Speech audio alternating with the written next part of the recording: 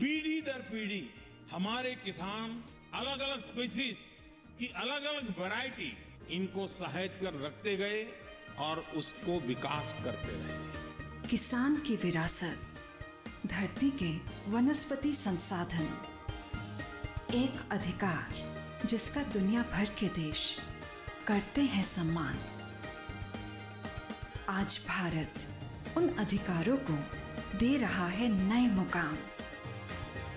ताकि और बढ़े किसानों की वंशागत किस्मों की पहचान का अभियान।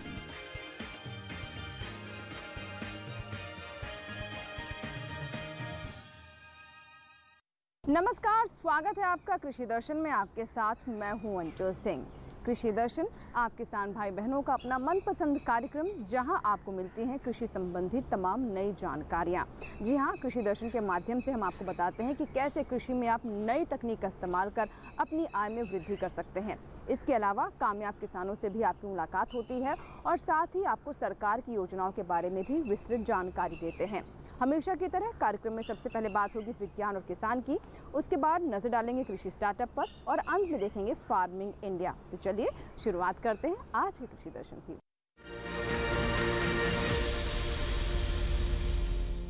कृषि दर्शन में सबसे पहले बात करते हैं विज्ञान और किसान की।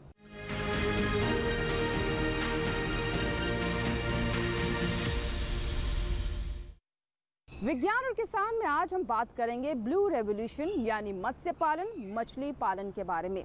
बढ़ती जनसंख्या के साथ साथ भोजन आपूर्ति भी एक चुनौती है। ऐसे में मत्स्य पालन की भूमिका काफ़ी अहम हो जाती है, क्योंकि इससे पोषण सुरक्षा भी सुनिश्चित होता है। अगर आप भी मछली पालन कर अच्छा लाभ कमाना चाहते हैं तो जानते हैं इसकी बुनियादी ज़रूरतों के बारे में। कौन कौन सी अहम जानकारियाँ हैं जो कि इससे जुड़ी हुई हैं, जो कि जाननी बहुत महत्वपूर्ण है। आइए देखते हैं अपनी इस रिपोर्ट में।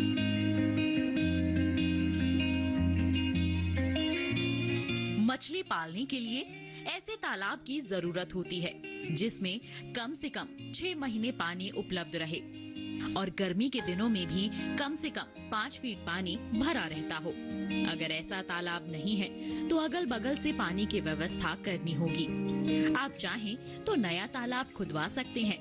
नए तालाब के लिए निचली जगह का चुनाव करें। ऐसी जगह जहाँ पानी ज़्यादा समय तक रुकता हो। दोमट मिट्टी ज़्यादा समय तक पानी रोकने वाली होती है। वैसे तो छोटे तालाब में मछली पल जाती है। लेकिन अगर कम से कम आधे एकड़ का तालाब होगा तो मछलियों की बढ़वार अच्छी होगी। तालाब आयातकार हो और चौड़ाई के मुकाबले लंबाई तीन गुना होनी चाहिए।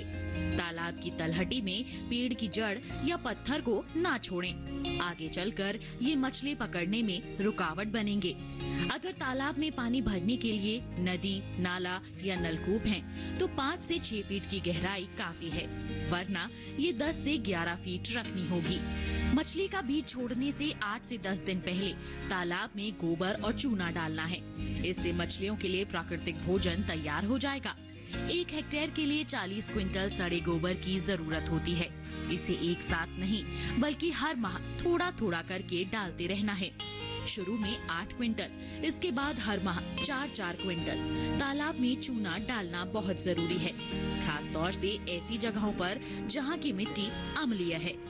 महीन पाउडर चूना तब देना है जब तालाब सूख गया हो और सभी बेकार मछलियों को उससे निकाल लिया गया हो।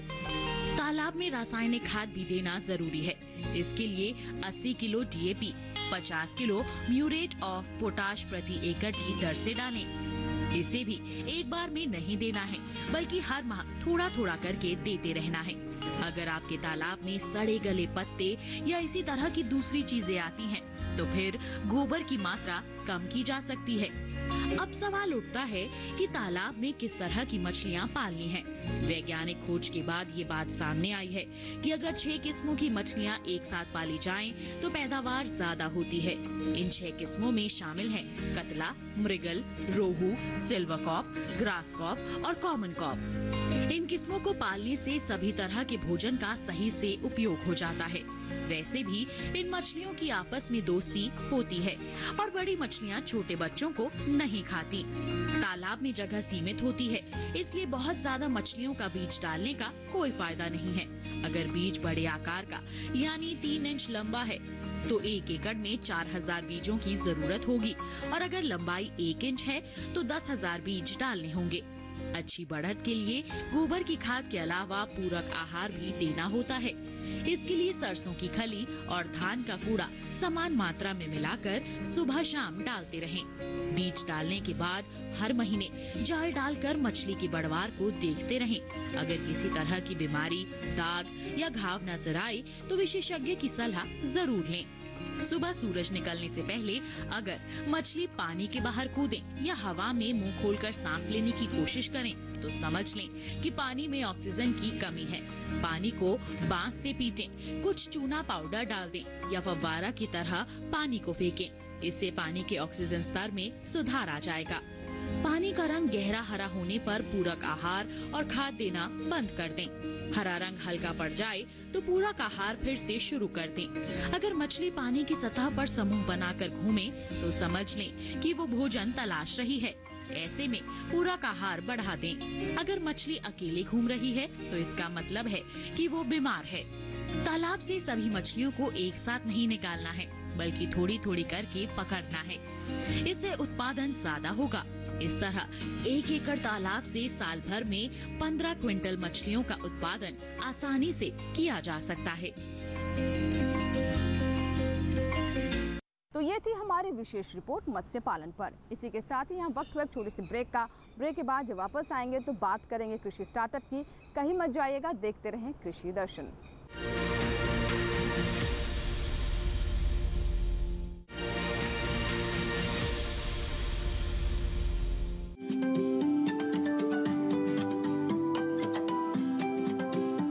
बात अच्छी सेहत की हो किसी तरीके की लापरवाही नहीं करो किसी तरीके का समझौता ना करो।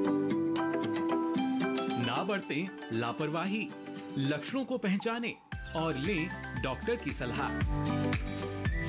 चाहे बीमारी दिल की हो दांतों की हो या दिमाग की हो खुद से इलाज ना करें खुद से कोई भी दवाई ना खाएँ डॉक्टर के पास जाएँ, अपनी जाँच कराएँ और अपना पूरा इलाज करवाएँ और अपना ख्याल रखें। कार्यक्रम जो देगा, सलाह भी, मार्गदर्शन भी। मोबाइल उठाएँ, नंबर मिलाएँ, एक आठ शून्य शून्य एक एक तीन शून्य छह शून्य या एक आठ शून्य शून्य एक एक तीन शून्य छह एक।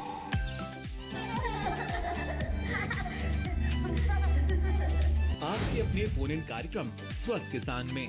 हर शनिवार शाम 6 से 7 बजे, सिर्फ़ डीडी किसान पर।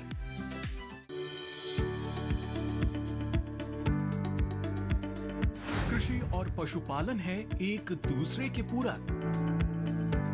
घर आँगन से लेकर व्यावसायिक फार्म तक। मुर्गी पालन से लेकर रेगिस्तान के जहाज़ तक। बीमारियों से अब पशुपालक ना हो परेशान। विशेषज्ञ करेंगे आपकी समस्या का समाधान। जुड़िए हमसे, पूछिए अपने सवाल। ईमेल के ज़रिए भी आप हमारे साथ जुड़ सकते हैं। हमारी ईमेल आईडी है डी किसान APC at the rate Gmail dot com हमारे टोल फ्री नंबर है एक आठ शून्य शून्य, एक एक तीन शून्य छह शून्य और एक आठ शून्य शून्य, एक एक तीन शून्य छः एक। देखिए अपना पशु चिकित्सक हर रविवार शाम साढ़े छह बजे, दूरदर्शन किसान चैनल पर।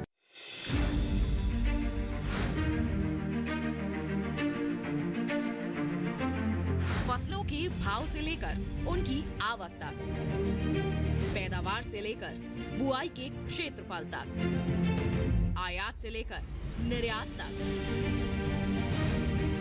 घरेलू से लेकर, वैश्विक बाज़ार तक। मंडियों की सही और ताज़ा जानकारी पाएँ विशेषज्ञों की राय का लाभ उठाएँ देखिए मंडी खबर। सोमवार से शनिवार शाम पाँच बजे, सिर्फ़ दूरदर्शन के साथ पर।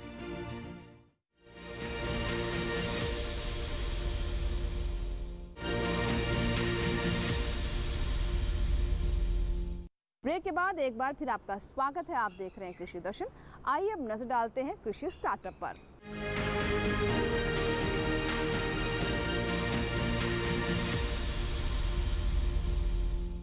कृषि स्टार्टअप में आज हम आपकी मुलाकात करवाने वाले हैं फरीदाबाद के मुकेश यादव से, जो कि परंपरागत खेती के साथ साथ नई तकनीक को साथ लेकर आगे बढ़ रहे हैं और इसमें अच्छा लाभ भी कमा रहे हैं।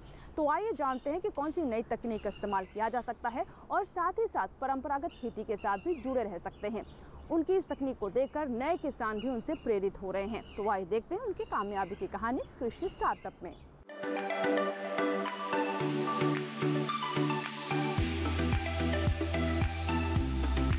मुकेश यादव फरीदाबाद के छोटे से गाँव मांझावाली में रहने वाले एक सफल किसान हैं। इनका जन्म खेती से जुड़े एक संपन्न परिवार में हुआ था। इन्होंने अपनी प्राथमिक पढ़ाई इसी गाँव से की और आगे की पढ़ाई पूरी करने के लिए मुंबई चले गए थे। चूँकि इनका परिवार खेती बाड़ी से जुड़ा था, इसलिए खेती से इनका लगाव हमेशा ही बना रहा। पढ़ाई के दौरान भी वे फ़सलों की बिजाई और कटाई के समय छुट्टी लेकर गाँव आया करते थे। इसी बीच गाँव और मुंबई में हो रहे कृषि में काफ़ी फ़र्क महसूस किया। मुकेश ने पाया कि उनके गाँव में आज भी परंपरागत तरीके से खेती की जा रही है, जबकि महाराष्ट्र के किसान आधुनिक पद्धतियों का भरपूर इस्तेमाल कर रहे हैं। वर्ष 2004 में मुकेश अपने गाँव लौट आए और इन्होंने नई तकनीकों के साथ खेती करनी शुरू की। वे अपने खेत में नई तकनीकों का इस्तेमाल तो करते ही हैं, साथ ही गाँव के किसानों को कृषि में नई तकनीकों के इस्तेमाल के बारे में भी जानकारियाँ देते हैं और सिखाते हैं। इन्होंने स्थानीय किसानों को कृषि और इससे जुड़े सरकारी योजनाओं के बारे में जागरूक भी किया। अपने खेतों में इलेक्ट्रॉनिक लेवलर चलाकर खेतों को समतल किया जिससे उपज तो अच्छी हासिल हुई ही साथ ही मजदूरों की संख्या भी घटी।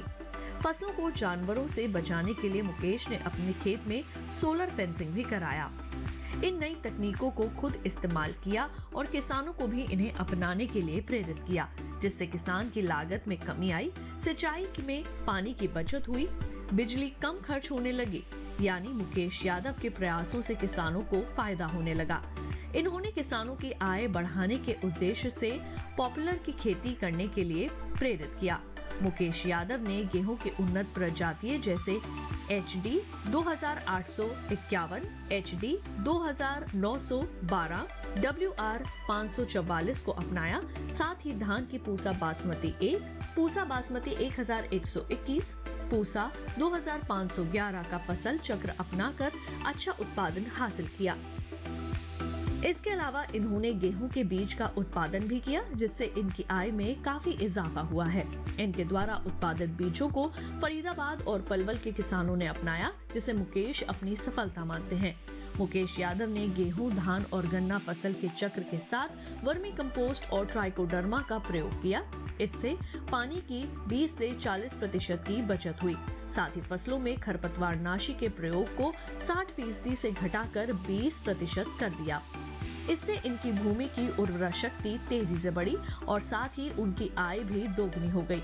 अपने क्षेत्र के किसानों को तकनीक से वाकिफ करवाने के लिए मुकेश ने खुद नई नई तकनीकों को अपनाया। इन्होंने धान की एसआरआई तकनीक से बीज, खाद और रसायनों की बचत की। इन्होंने गहरी जुताई और सूक्ष्म सिंचाई तकनीक से फलों और सब्जियों के उत्पादन में भी अच्छी पैदावार हासिल की किसानों को नई तकनीक से परिचित कराने और भारतीय कृषि अनुसंधान परिषद की नवीनतम प्रजातियों को मुकेश यादव ने किसान क्लबों द्वारा दूसरे किसानों तक पहुँचाया। मुकेश यादव ने अनुसंधान परिषद की नई तकनीकों का किसानों के बीच खूब प्रचार प्रसार किया और इस सब के पीछे मकसद यही था कि किसान आगे बढ़े और खेती को व्यवसायिक तरीके से करें ताकि उनका जीवन स्तर बेहतर हो सके। कृषि के क्षेत्र में उल्लेखनीय योगदान के लिए मुकेश यादव को अनेक सम्मानों से नवाजा गया है। तो ये था हमारा आज का कृषि स्टार्टअप, जिसमें हमने आपकी मुलाकात करवाई मुकेश यादव से। इसी के साथ ही यहाँ वक्त एक छोटे से ब्रेक का। लेकिन ब्रेक के बाद जब वापस आएँगे तो बात करेंगे फ़ार्मिंग इंडिया की, जिसमें जानकारी देंगे सरकार की योजनाओं के बारे में। कहीं मत जाएगा छोटा सा ब्रेक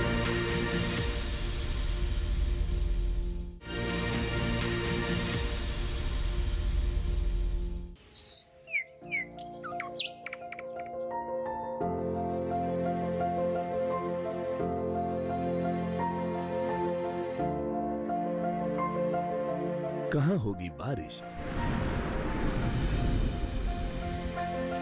किस जगह पड़ेगी बर्फ़?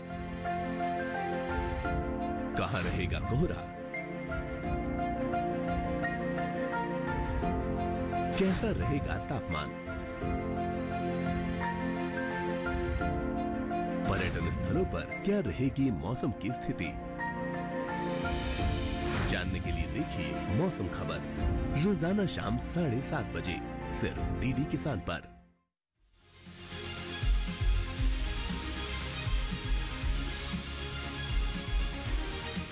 धरती का सीना चीर दे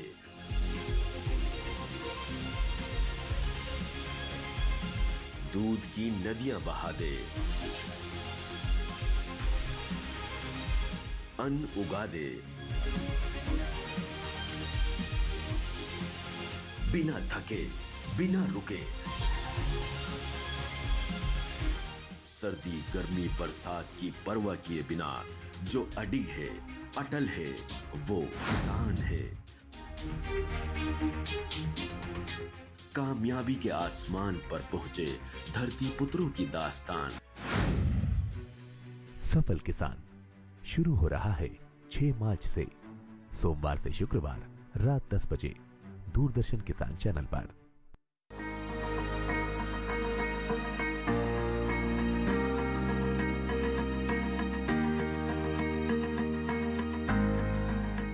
घर के बगिया में छिपा है सेहत का खजाना। टेरेस गार्डनिंग से बनेगा घर ब्यूटीफुल और हेल्दी क्यों ना गार्डन में उगाएँ अपने फल, फूल और सब्ज़ियाँ, जिससे सेहत भी बने और छत की बगिया भी खिली खिली रहे। देखिए छत पर बागवानी, शनिवार सुबह 9 बजे, सिर्फ़ दूरदर्शन किसान पर।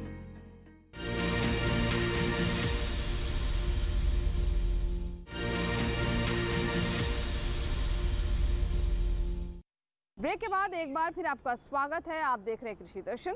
आइए हम नज़र डालते हैं अपने सेगमेंट फ़ार्मिंग इंडिया पर, जिसमें हम आपको बताते हैं सरकार की उन योजनाओं के बारे में, जो कि विशेष तौर पर किसानों पर केंद्रित हैं।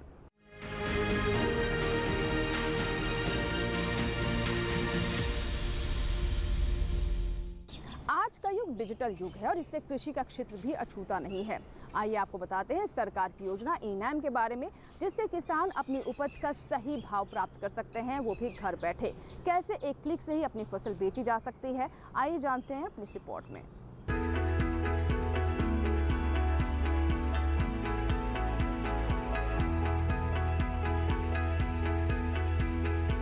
ई नाम के ज़रिए आप घर बैठे न केवल एपीएमसी से जुड़ी किसी भी मंडी में चल रहा भाव मालूम कर सकते हैं, बल्कि अपनी फ़सल का सौदा कर सकते हैं। और घर बैठे समय पर बिकी हुई फ़सल का भुगतान भी पा सकते हैं। ई नाम दरअसल कोई समानांतर मार्केटिंग संरचना नहीं है, बल्कि ये मंडियों का ही राष्ट्रीय नेटवर्क बनाने का एक साधन है, जिसे ऑनलाइन एक्सेस किया जा सकता है। पुरानी मंडी व्यवस्था में किसान सिर्फ़ मंडी में ही फ़सल बेच सकता था। लेकिन इनाम के माध्यम से वो मंडी के बाहर भी फ़सल बेचने के लिए आज़ाद है। इनाम मुख्य रूप से एक राष्ट्र, एक बाज़ार की अवधारणा पर आधारित है। इसे कृषि और किसान कल्याण मंत्रालय के ज़रिए एक निवेश के साथ बनाया गया है और इसके लिए विकसित सॉफ्टवेयर सभी मंडियों के लिए उपलब्ध है। ऐसी मंडियाँ जो राज्य मंडी अधिनियम के नियमों के अनुरूप राष्ट्रीय नेटवर्क में शामिल होने के लिए सहमत हों। अगर किसी किसान को स्थानीय मंडी में बेहतर भाव नहीं मिल रहे हैं तो वो दूसरी मंडी का रुख कर सकता है। यहाँ तक कि वो अपने राज्य के बाहर भी फ़सल बेच सकता है। शुरुआत में सिर्फ़ 21 मंडियों को ही इसमें शामिल किया गया था और सिर्फ़ चुनिंदा फ़सलों की ही बिक्री होती थी। लेकिन आज 18 राज्यों और तीन केंद्र शासित प्रदेशों की 1000 मंडियाँ इसमें शामिल हो चुकी हैं, जहाँ 175 फ़सलों को खरीदा और बेचा जा सकता है। 31 जनवरी तक के आंकड़े बताते हैं कि इनाम पर एक करोड़ बहत्तर लाख सत्तर हज़ार किसान दो लाख तेरह हज़ार आठ सौ चवालीस व्यापारी, एक लाख दो हज़ार अड़सठ कमीशन एजेंट और 2050 एफपीओ जुड़े हैं। किसानों के लिए इनाम पर मुख्य रूप से चार फ़ायदे हैं। पहला, इस पोर्टल पर कारोबार में पारदर्शिता दिखाई देती है और किसानों को बेहतर भाव की संभावना बढ़ती है। पारदर्शिता का मतलब ये हुआ कि किसानों के साथ धोखाधड़ी की संभावना कम हो जाती है। दूसरा फ़ायदा ये है कि अन्नदाता की पहुँच ज़्यादा मंडियों और व्यापारियों तक सीधे हो गई है। तीसरे, मंडियों में आवक और भाव की तुरंत जानकारी मिल जाती है। और चौथा, भुगतान बहुत जल्दी हो जाता है और पैसा सीधे किसान के खाते में जाता है। तो अगर आप भी सुविधा का फ़ायदा उठाना चाहते हैं तो ई नाम पर रजिस्ट्रेशन कराना होगा। रजिस्ट्रेशन की कोई फ़ीस नहीं है। में आज हम आपको बताएँगे सॉइल हेल्थ कार्ड के बारे में। जी हाँ ये एक तरह की मिट्टी की सेहत का रिपोर्ट कार्ड है, जिससे किसानों को ये पता चल पाता है कि उनके मिट्टी में कौन से पोषक तत्वों की कमी है और किस स्तर तक उसकी पूर्ति करनी है। इससे किसानों की लागत भी घटती है और उत्पादन भी अच्छा मिलता है। तो क्या लाभ है सॉइल हेल्थ कार्ड का? आइए जानते हैं इस रिपोर्ट में।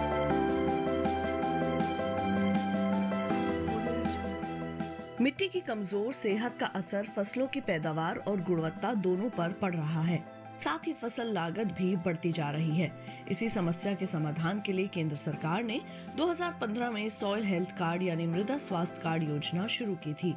ये वही साल था जिसे अंतर्राष्ट्रीय मृदा वर्ष के रूप में मनाया गया। एक ऐसी योजना जो खेत की मिट्टी में कमजोरियों का भी पता लगाती है और बताती है कि मिट्टी में कौन से पोषक तत्व की कमी हो रही है।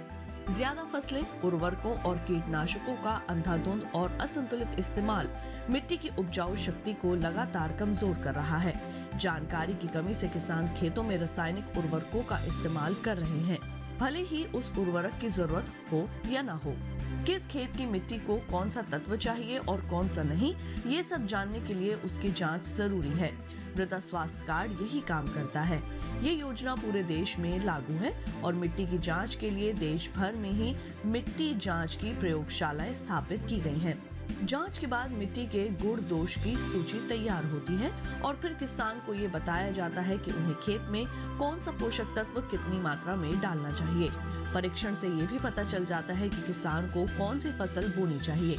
अगर किसान कोई और फ़सल बोना चाहे तो अधिकारी फिर उस फ़सल के हिसाब से पोषण का सुझाव देंगे। ये योजना सभी 14 करोड़ किसानों के लिए बिल्कुल मुफ़्त है। फरवरी तक के आंकड़े से पता चलता है कि 2019-20 के दौरान मध्य प्रदेश, छत्तीसगढ़, गुजरात, महाराष्ट्र, पंजाब, राजस्थान, हिमाचल प्रदेश और झारखंड के अलावा कई और राज्यों में 100 के 100 फ़ीसदी किसानों को ये योजना के तहत कवर कर लिया गया है। केरल में 90 से पचानवे फ़ीसदी, जबकि उत्तर प्रदेश और हरियाणा में पिचासी से 90 फ़ीसदी किसान इस योजना का हिस्सा हैं। अध्ययनों से पता चला है कि इस कार्ड की सलाह पर की गई खेत से लागत में 8 से 10 फ़ीसदी की बचत हुई है इस कार्ड का एक पोर्टल बना हुआ है किसान वहाँ से भी अपना कार्ड प्रिंट करवा सकते हैं इस पोर्टल पर 21 भाषाओं में खेती के बारे में बहुत सी जानकारियाँ उपलब्ध हैं। किसानों के लाभ के लिए प्रशिक्षण, प्रदर्शनी और किसान मेलों का भी आयोजन किया जाता है। 2019-20 के दौरान आदर्श ग्राम विकास के नाम से एक परियोजना शुरू की गई है, जिसके तहत खेतों से मिट्टी के नमूने उठाए गए। परियोजना के तहत हर ब्लॉक से एक गाँव लिया जाता है और वहाँ मिट्टी के नमूने जमा करके उनकी जाँच होती है। इस तरह हर गाँव में एक हेक्टेयर रकबे की ज़मीन से नमूने लिए जाते हैं। तो ये था हमारा आज का कृषि दर्शन। आशा करते हैं कि आज के कार्यक्रम में जो जानकारियाँ हमने आप तक पहुँचाई हैं, उससे हमारे किसानों को ज़रूर लाभ होगा। अगर आपके कोई सुझाव हैं, कोई राय है तो आप हमें ईमेल कर सकते हैं, हमें पत्र भी लिख सकते हैं। हमारा ईमेल पता है Krishi Darshan D D K at the rate Gmail dot com हमारा पता है कृषि दर्शन कमरा नंबर अट्ठावन C P C Doordarshan, Khelgaon, नई दिल्ली, एक एक शून्य शून्य चार नौ। आपके ईमेल्स और आपके पत्रों का हमें इंतज़ार रहता है। आपके सुझाव से हमें मदद मिलती है कि हम अपने कार्यक्रम को और बेहतर कर सकें। चलते चलते आपको ये भी बता दें कि आप हमारा ये कार्यक्रम हमारे यूट्यूब पर भी देख सकते हैं। इसके लिए इस क्यू कोड को स्कैन करें और यूट्यूब पर देखें कृषि दर्शन। अगले अंक में फिर होगी कृषि दर्शन में आपसे मुलाकात। कुछ नई जानकारियों के साथ। तब तक के लिए आप बने रहें दूरदर्शन किसान के साथ। नमस्कार।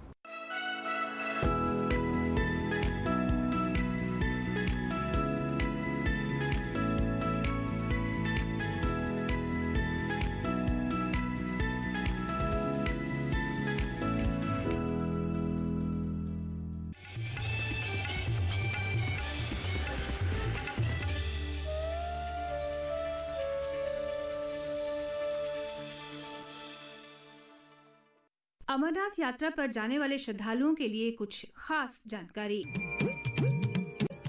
यात्रा के दौरान धीरे धीरे चलें विभिन्न स्थानों पर अनिवार्य विश्राम करें और एक समान गति सुनिश्चित करें खाली पेट यात्रा ना करें और निर्जलीकरण और सिर दर्द से निपटने के लिए ढेर सारा पानी पिएँ। यात्रा के दौरान अपने साथ पोर्टेबल ऑक्सीजन अवश्य लाएँ क्योंकि सांस लेने में कठिनाई होने पर ये सहायक होता है यात्रियों को यात्रा के दौरान पोस्ट पेड सिम ले जाने की सलाह दी जाती है क्योंकि गैर जम्मू कश्मीर सर्कल का प्रीपेड सिम जम्मू कश्मीर में काम नहीं करेगा। जय जय बाबा बर्फानी।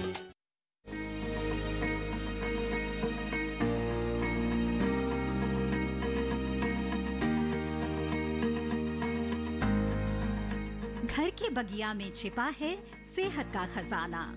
टेरेस गार्डनिंग से बनेगा घर ब्यूटीफुल और हेल्दी क्यों ना गार्डन में उगाएँ अपने फल फूल और सब्ज़ियाँ, जिससे सेहत भी बने और छत की बगिया भी खिली खिली रहे। देखिए छत पर बागवानी, शनिवार सुबह 9 बजे, सिर्फ़ दूरदर्शन किसान पर।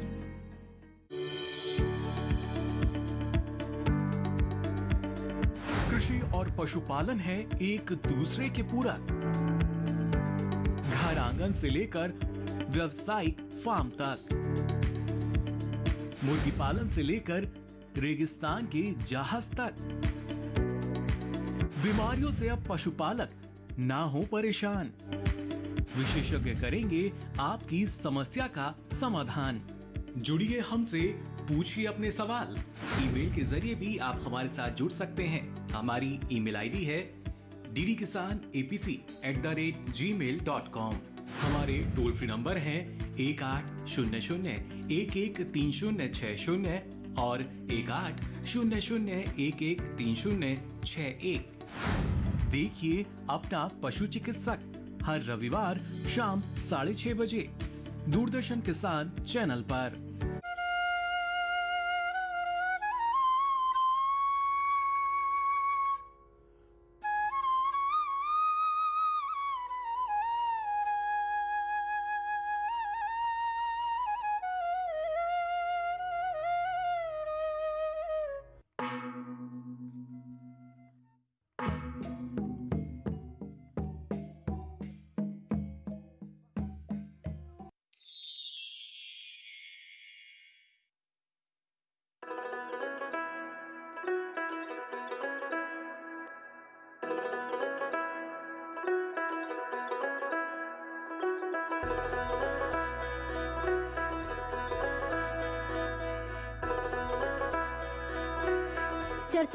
किसान और विज्ञान यानी कि किस तरह से तरक्की कर रहा है जिस तरह भारत तरक्की कर रहा है।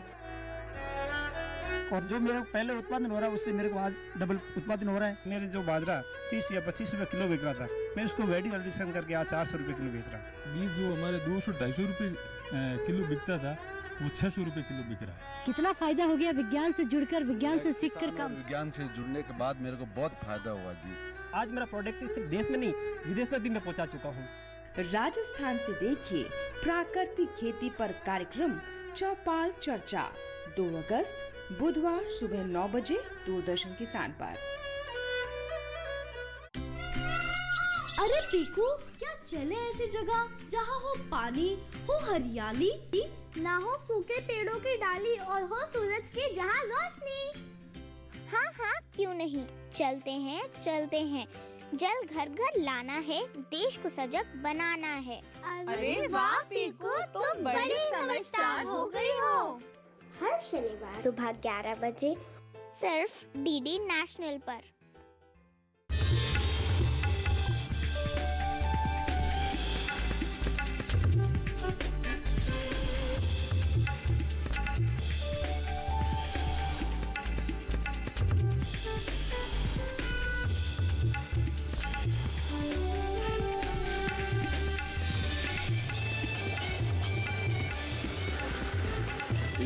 किसान बदलते भारत की शान।